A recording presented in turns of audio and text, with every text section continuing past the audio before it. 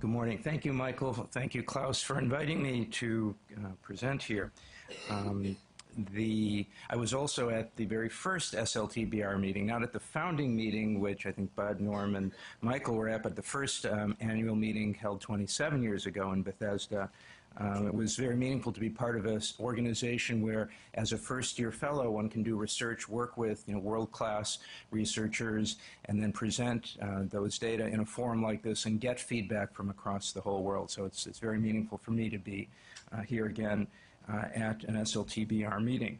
Um, Michael asked me to speak on the topic of the biology of circadian rhythms, and so I'll begin with a, a philosophical point. Um, with regard to this, some of you, I'm sure, are more expert in, in this topic than I am, um, but I really intend to present this as an, at an overview level because this is uh, a teaching course.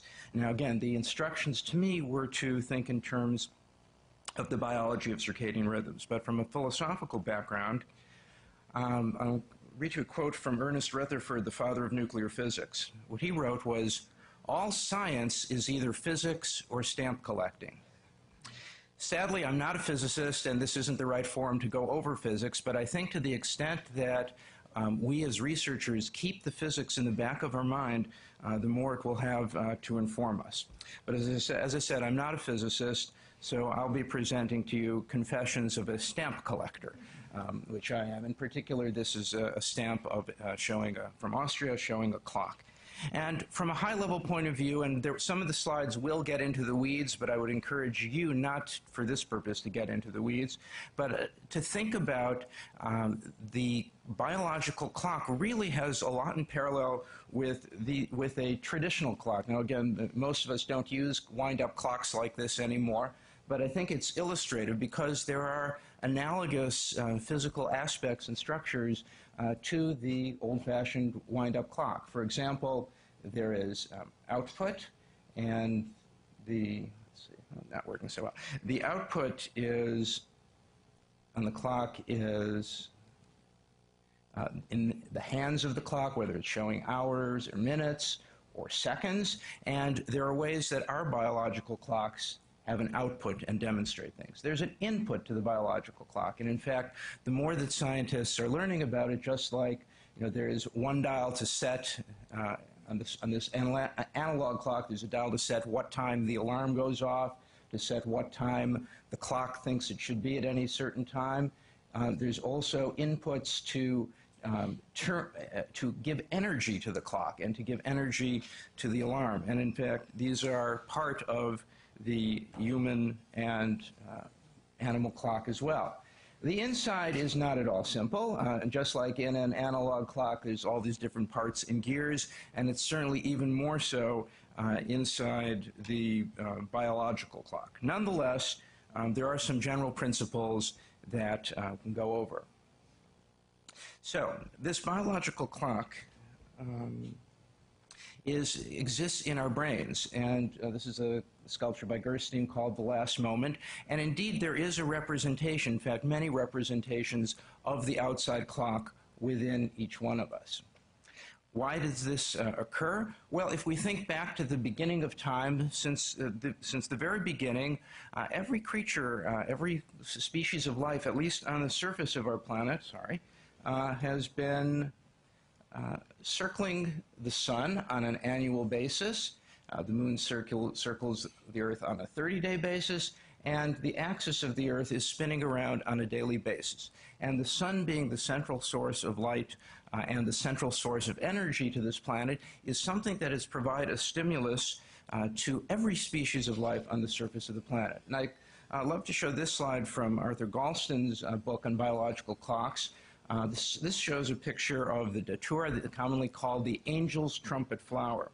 And the angel's trumpet flower has a biological clock so that uh, every night, if you will, it goes to sleep, it closes its petals, and at dawn the petals start to open, they get wider, and full bloom in during the whole day. And of course, uh, as plant scientists uh, began to discover hundreds of years ago, uh, this is regulated not just by the sun, which sets the time, but it's also regulated by an internal biological clock. Put the plants in darkness, and these uh, plants will continue to for at least several days to continue on the same schedule of gradually waking up each morning, opening their petals to the sun, even if it's not there, and then closing them up. And I, I love this slide because I would argue that uh, it's this um, biological clock, the sensitivity to um, light in terms of changing the timing of the biological clock, the waking, the sleeping. This uh, it could conceivably, in some ways, be the most fundamental form of behavior conserved across every species of life on the surface of the planet in different ways. Because all of us, you know, when we psychiatrists and psychologists talk about behavior, we have many different kinds of complex terms. Freud wrote books and books about them, but the core one, I would argue, is this fundamental biological clock that in some ways wakes us up and puts us to sleep every day.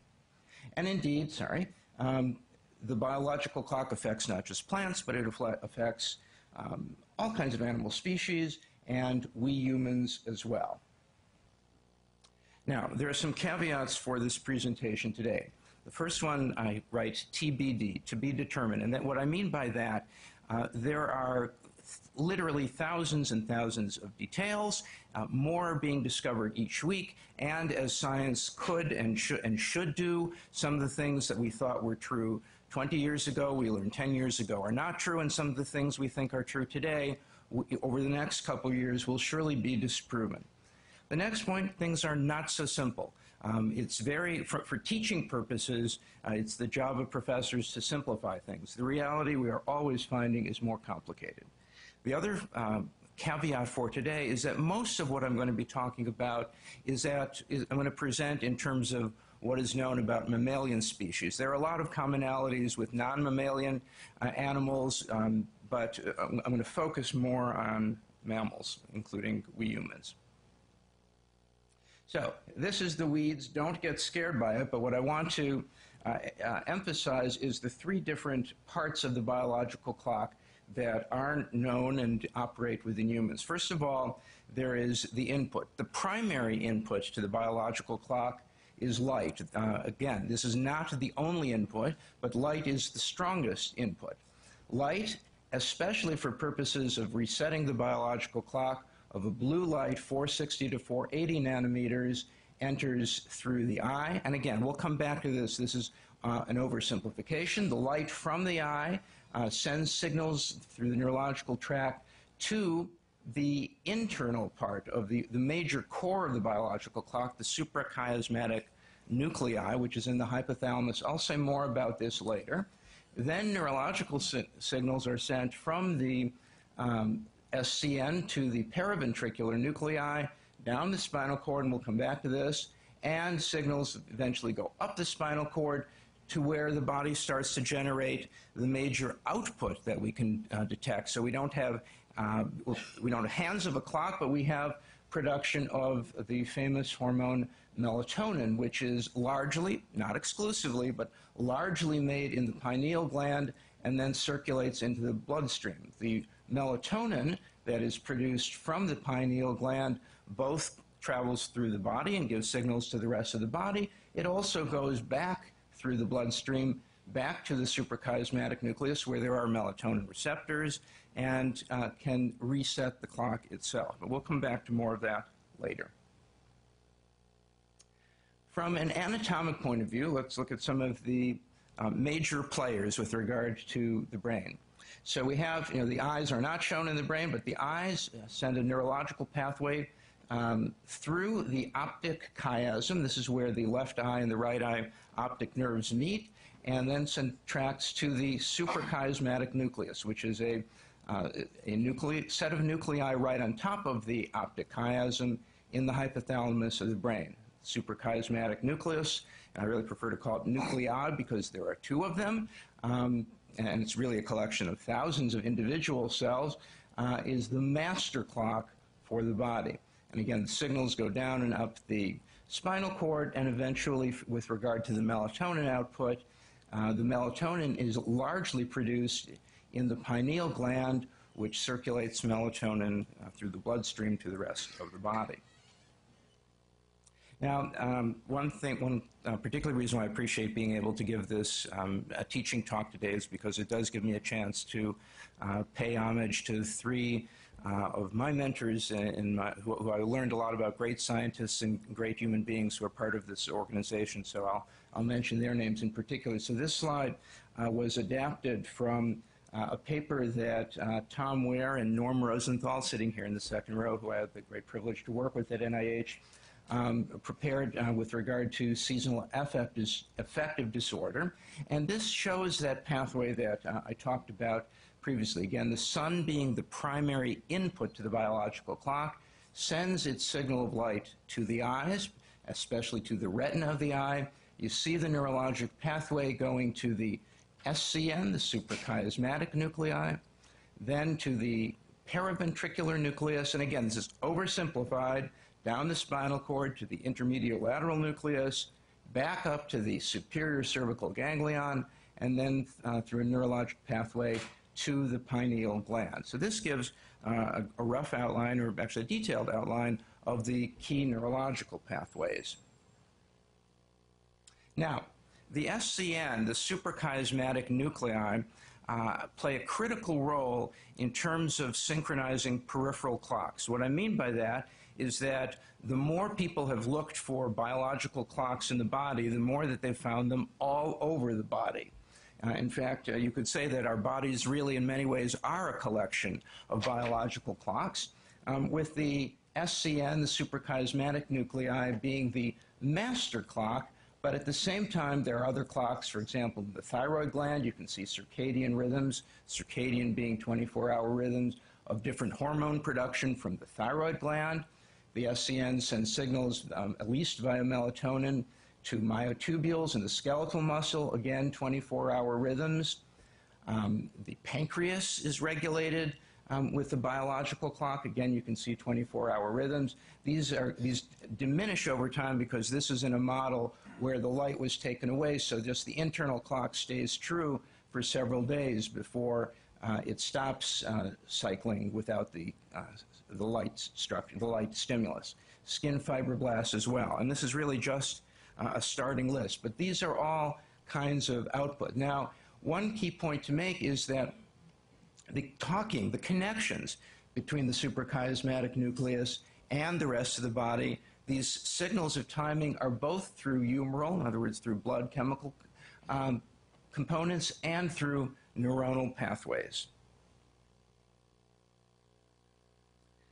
Now, the SCN, the suprachiasmatic nuclei, um, uh, one are really fascinating. One of the ways that we know that they have a uh, that they uh, convey humoral uh, outputs is that this uh, was is based on a study by Tucson and Meisel, published about 10 years ago, where they established in mice that cyclic information from the hypothalamus was lost after the SCN was ablated. So let me show you what's going on in this slide. So this is a stylized suprachiasmatic nucleus, and you can see it has a 24-hour rhythm of output, both electrical activity and in uh, chemical production. When the suprachiasmatic nucleus is removed, is, is ablated, the output, the 24-hour output, circadian output from the SCN, is lost.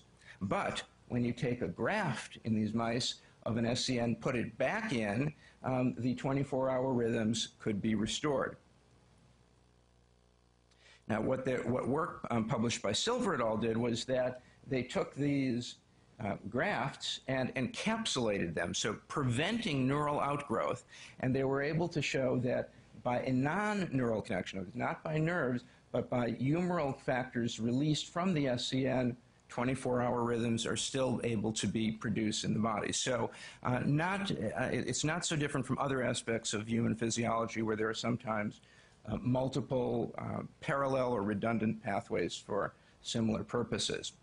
There are other factors also that regulate the peripheral clock, so uh, how much food we eat and what time we eat, our locomotor rhythms, what time we're waking up, with what we're doing exercise, can affect biological clocks body-wide.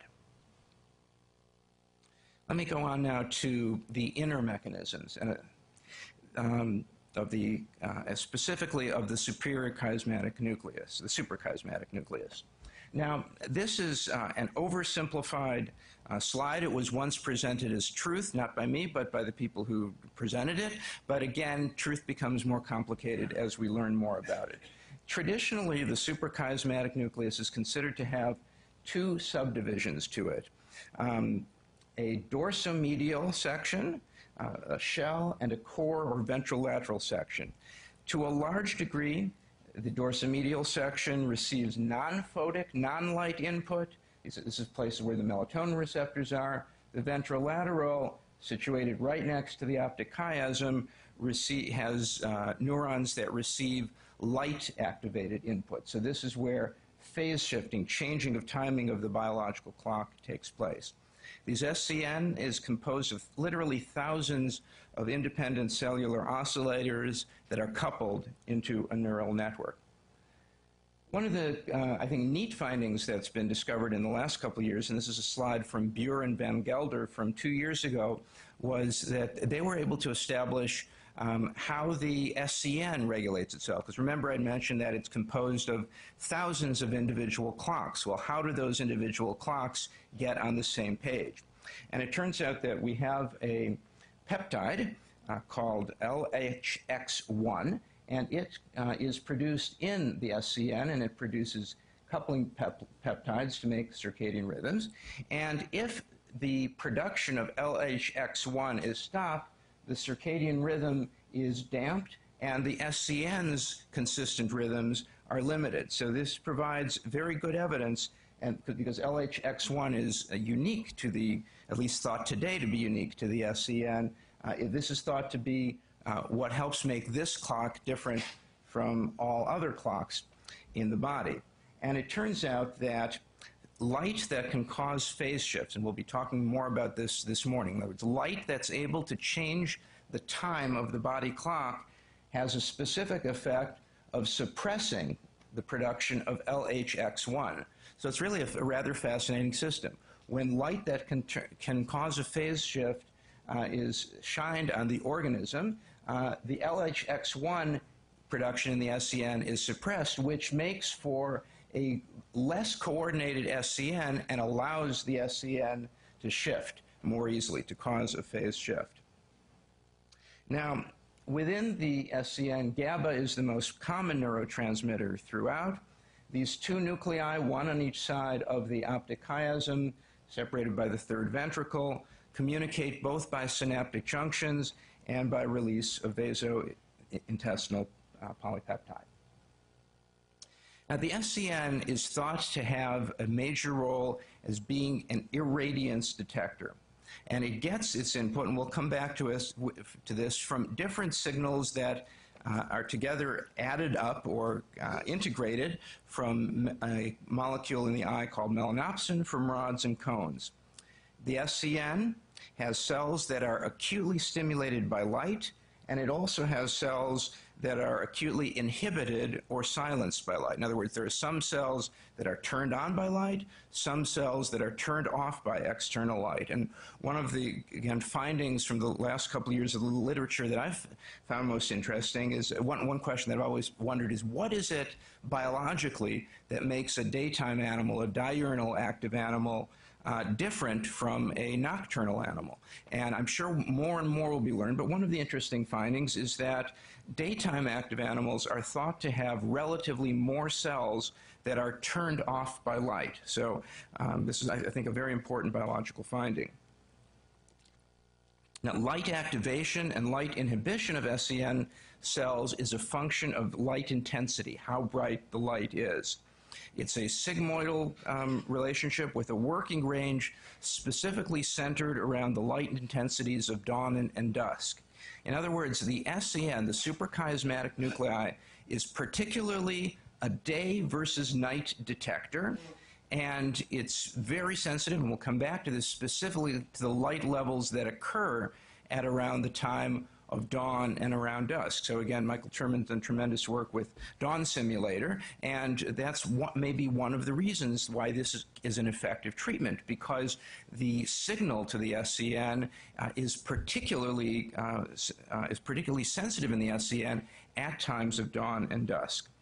Interestingly, also the SCN is only really sensitive to light-induced phase shifting during the dark phase. In the middle of the daytime, and we'll hear more about this this morning, um, the SCN is not really sensitive to changes in the biological clock. Behavioral activity um, correlates with uh, electrical activity in the SCN. This is mouse data from uh, Hoban et al. from seven years ago. The SCN also retains a memory for photoperiod. What does that mean? It means that, again, as I talked about the plants, that if you turn off the light, the plants will continue to wake up and go to sleep every day for several days. Um, if you put someone in a cave, um, we will continue to wake up and go to sleep at similar times for at least several days because we have a memory. And similarly, that memory is kept in the suprachiasmatic nuclei, uh, especially. We're going to hear, I'm sure, a lot more this morning about the PRC, the phase response curve to light. This graph, uh, it's a complicated graph, but the key thing to show for now, and, and you'll, you'll, see more later, is that, sorry, we have, um, during the daytime, the effect of light on changing the time of our biological clock is relatively little. But during the dark hours of the night, in the first half of the night, Shining light, which gives a signal to the SCN, causes what's caused, called a phase delay, where we wake up later. In the latter part of the night, bright light applied to the person, to the eyes, causes a phase advance. So what's going on inside the SCN that allows these things to happen? So this is sort of uh, the the inside part. Essentially, and again, um, this is going to this is available in most uh, common textbooks. This is adapted from Reiter and all, 2010. Um, I think this will be, although you're not supposed to take pictures and videos of this, this will go on the web through New York State Psychiatric Institute, so you'll you'll have access uh, to this. But ba basically, the signal from the eye uh, tells the SCN to synthesize genes and lead, and I'll share a bit of that in a moment, leading to the signal going to the paraventricular nuclei to the intermediate lateral cell column. Now, the genetic story inside the SCN, um, uh, I could talk about, or someone who's truly expert in it could talk, could spend a day talking about it and not be half done. So, what I want to share for the purpose of this teaching course is a, a really simplified molecular model of the circadian oscillator uh, in the SCN. So essentially, we have a 24 hour period, a 24 hour clock within us, and we continually have we have production of transcription factors, um, in particular clock and BMAL, BMAL1. As the levels of these transcription factors go up, they lead to the transcription of genes that are controlled by the biological clock. Some of the more prominent uh, ones are PER1, PER2, CRY1, uh, CRY2. When you get extra high levels of these, you trigger a negative feedback loop, which then reduces the production of clock and BMAL1 so that you have a continual rise and fall. And again, this is far simplified, but it, it gives you a sense of the basic pattern for how the clock is working within the SCN. Um, in, what I consider to be a really a, fascinating finding, a mutation in the PER2 uh, gene has already been associated with familial advanced sleep phase syndrome. So this is uh, familial advanced sleep phase syndrome uh, is a disorder, a genetic disorder within families where people uh, typically wake up several hours early compared to the rest of the world each day, go to sleep several hours early, and it's not a, it's not within their control. It's not a, it's not a voluntary uh, phenomenon. It is genetically driven. And the fact that you know today we can link, uh, at least in some families, with this um, this disturbance to a genetic abnormality in the biological clock is really a, a beautiful uh, work in science, and I think a, a great model for all of us who uh, are trying to con- connect clinical phenomena and clinical disorders to the biological clock. Um, certainly, the literature is you know, one of the reasons for our field and for this organization has been to try and um, unlink, or I'm sorry, to, to unleash the um, connection between uh, the clinical disorders and the biological clock. But it's, it's not always so easy uh, to do that. So again, this uh, graph from the, the Wehr and Rosenthal paper, so in, uh, I've gone over it before, but it relays again the pathway. And this is something from, from a take-home point of view, it is worth having a general understanding of this pathway from the eye to the suprachiasmatic nucleus and the hypothalamus to the spinal cord and back to the pineal gland as far as the inner workings of the biological clock. Now, in the pineal gland, one of the major jobs of the pineal gland is melatonin synthesis. Um, fascinatingly, melatonin is a hormone of the dark. Uh, whether you're talking about uh, a bat that's active at night or a human being that's active at day, um, all, uh, all mammals, all animals um, that I know of produce um, melatonin specifically at night. So it's not a marker specifically of behavior, but it is an internal marker of the external environment.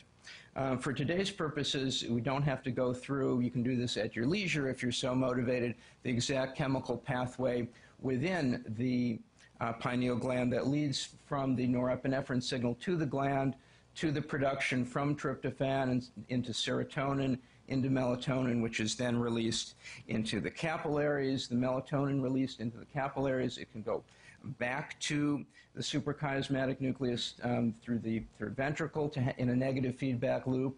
Um, the there are melatonin 1 and melatonin receptors throughout the body. Melatonin may also, and melatonin is a very a lipophilic molecule. That means it's a very fatty molecule, so it can penetrate inside the cell nucleus, potentially of every cell in the body, and have uh, additional uh, effects, which remain to be proven what they specifically are. Uh, throughout the body. But there are uh, well described melatonin and melatonin, melatonin 1 and 2 receptors. Not Michael Terman, but uh, that's a good way to remember it. You can see that uh, it, nocturnally, some animals tend to produce melatonin more during uh, the, the long nights of winter, a shorter, uh, shorter melatonin production during the short nights of summer. The melatonin 2 receptor is uh, argued to be sleep promoting. Uh, it's not within the scope of this talk, but there is extensive debate and discussion in the literature about is melatonin a sleep prom- promoter? Is melatonin uh, a good uh, sleep medicine or not? Uh, I will throw in my two cents here just as a, a way to rouse people, and then uh, if anyone wants to comment on it, they can do that later. My, my own personal reading of the literature is that melatonin can, at least immediate release melatonin, the kind that the body makes, can promote sleep, but it promotes it at times of day when we don't have circulating melatonin. So if you wanted to take a midday nap, it might be a very useful tool. Um, the, the, the, evidence showing that its efficacy is good at nighttime is uh, very limited and uh, extremely debated. It's a highly controversial issue. There are slow release forms of melatonin which may, in fact, be uh, very useful for uh, bedtime uh, for sleep as well. All right, let's say a little bit uh, about the output. I, mentioned the peripheral rhythms in the thyroid gland, the skeletal muscle, the uh, endocrine pancreas, skin fibroblasts. Um, but in addition, melatonin and the biological clock output shows up in brain activity, heart rate, blood pressure, renal uh, function, general metabolism, immune, feeding, body temperature. I mean, it seems to be the more that people look for circadian rhythms in different aspects of our biology, the more that people are finding them. I'm going to finish by talking uh, about uh, the input um, to the biological clock. So again, here, um, this shows, especially with regard to phase shifting, changing the time of the biological clock, light of uh, blue visible light uh, acting on melanopsin uh, through the retinal ganglion cell. These are critical to clock setting in the suprachiasmatic nuclei. But rods and cones are also uh, thought to provide input as well. So it's again the story, the more we learn about it, it's more complicated than it's first stated. First, it was stated that rods and cones were responsible for it. Then it was stated that melanopsin is responsible for it. Now it seems that there are multiple critical inputs. And again, our behavior response to light is so complex that um, we may do ourselves a disservice if we just attribute our, all of our behavior to one or two molecules. Now, melanopsin, uh, it's an active area of research. There are uh, at least two critically important forms of melanopsin, one called um, 11-cis-retinol melanopsin. This is the structure of a of the chromophore melanopsin. Chromophore is a word that refers to the part of a molecule uh, that absorbs light. And you can tell because it has all these uh, pi bonds, alternating double bond, single bond, double bond, single bond, throughout um, biology, wherever you see a molecule like this, it tells you that this molecule is capable of absorbing light. It doesn't tell you that it's physically, physiologically important, but it, tells you that it has that capacity. And there are two what are called bistable forms of melanopsin, the cisretinol and then uh, transretinol. And trans basically light of about 467 nanometers causes this part to flip up to become the trans form. 476 flips back, causes light, uh, causes the molecule to flip back like this. What the specific role of each of those two different wavelengths is, as far as our biology, remains to be determined. There may also be at least a third form of melanopsin that may play a critical role uh, as well.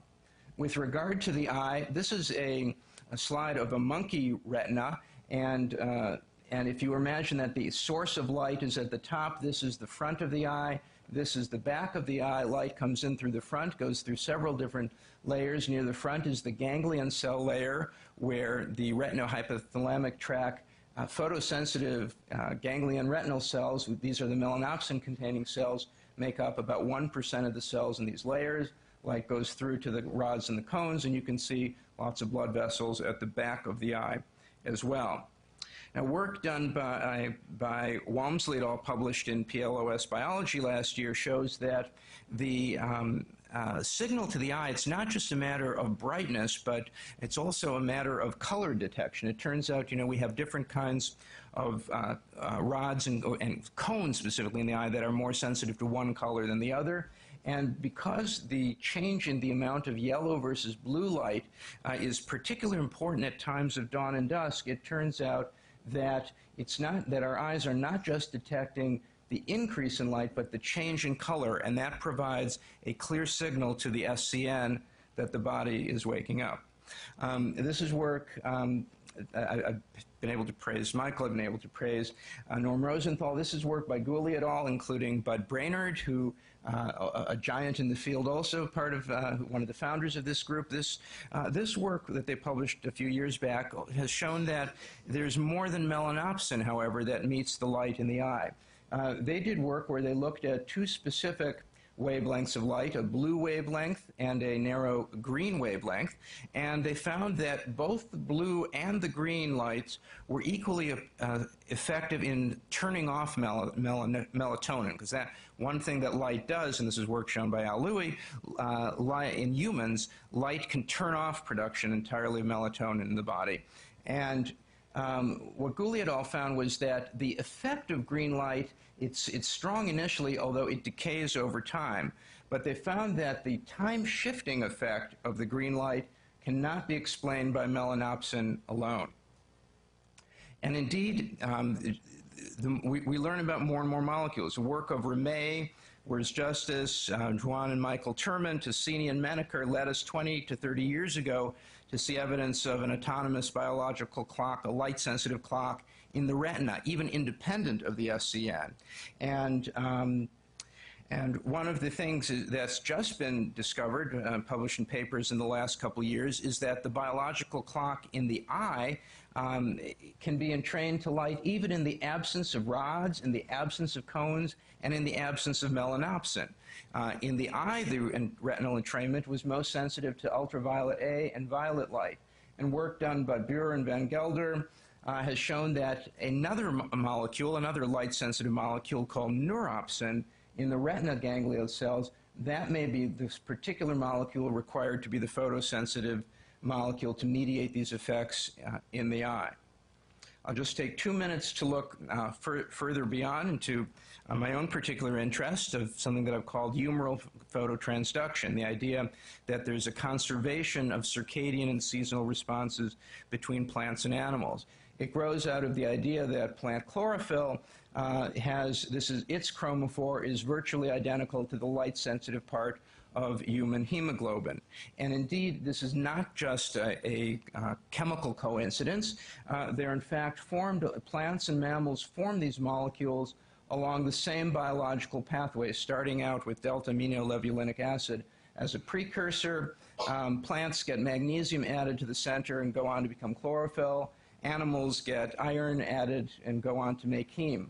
Also, th this is beyond the scope of today, but uh, the heme in plants and animals um, gets converted to biliverdin, and then plants use that to make phytochrome, which is perhaps the most important time-setting molecule in the plant. We use it to make uh, bilirubin, which, um, at least when I was in medical school, we were taught was a wasteful, was a waste leftover product of evolution. Um, it turns out that light causes the dissociation of carbon monoxide and nitric oxide from the heme of hemoglobin. And um, one of the things that I find fascinating, I'm putting up again the slide from Gooley et al., where they showed the importance of blue and green light. Uh, I should say that um, there are, you know, the, what color light works best for SAD is a source of, of great uh, discussion. There are some papers arguing blue, some arguing uh, green. Certainly, no one can argue with the usefulness of white. But one of the fascinating things is that um, what's causing, how is this green light having an effect? And at least in photobiology, one common understanding or one way of doing the research is to be able to link a particular biochemical effect to a particular wavelength. And it turns out that the peak wavelength for this process of causing heme to release CO, that peak effect occurs at 540 to 570 nanometers, right in the same region as the green. So whether this study is proving that cones are having this effect, or could it be hemoglobin CO dissociation?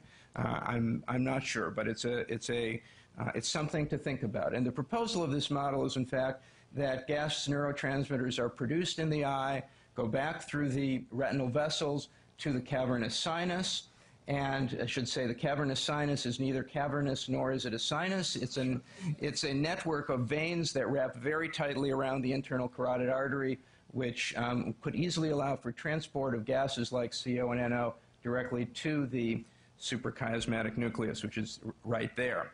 Um, and in fact, in the 20 years since this, has been, this model has been proposed, uh, it has already been proven that the following chemicals, GnRH, ACTH, LH, da da da da da da da, all cross through countercurrent transport from the cavernous sinus into the internal carotid arteries at this place. Some drugs even do that uh, as well. I could speculate that intranasal ketamine may be having some of its effects uh, via this route as well.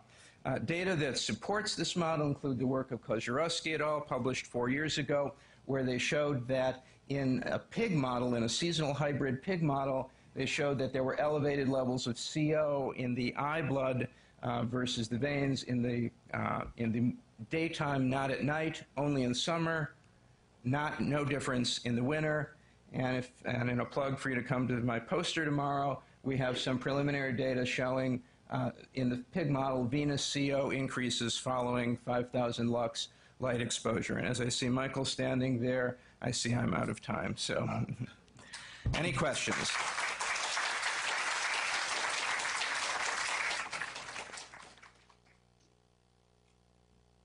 Norm.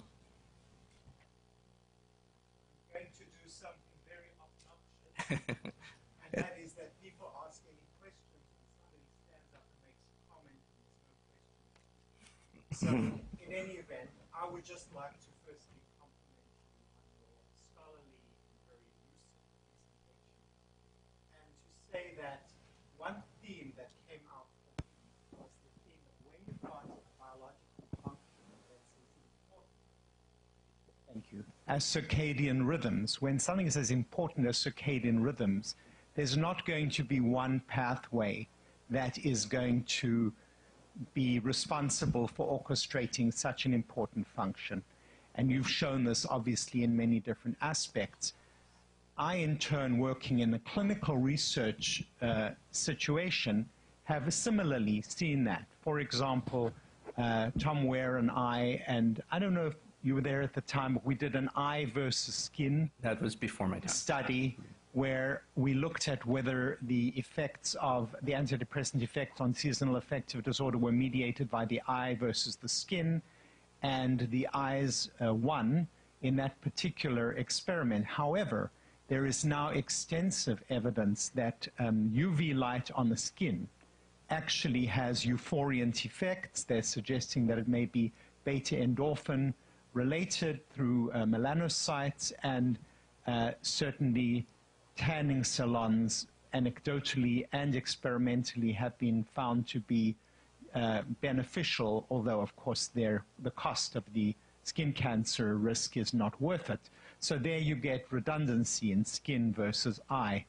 Um, uh, conversation that uh, Martin and I were having yesterday reminded me of a patient I had, um, blind, who had had her both eyes enucleated because of um, cancers in the eyes, who retained a very clear, uh, and this was done very early in, in life, retained a very clear seasonal affective disorder pattern. So whether that was coming through light or whether it was coming through some non-light mechanism, I don't know. Thank you. I can't argue with anything you said. Have a few minutes for questions, debates, clarifications.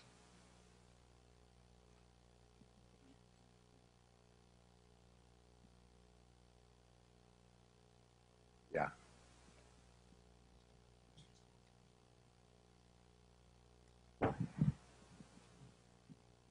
Yeah, I'm wondering. Uh, hi, my name is Stefan. I'm a PhD student, um, and I'm wondering, as a student, I didn't read the paper by a writer, but um, why is the pathway going all the way down the spinal cord and going back up? Is there a reason for feedback or something, or? Yeah, I, I've asked that question myself every time I, I see that slide. You know, I, it, uh, I, if one is looking, I mean, I think it's it's natural and it's it's appropriate to look for um, evolutionary teleological kinds of ex- explanations. Uh, I don't have the answer. Someone else may.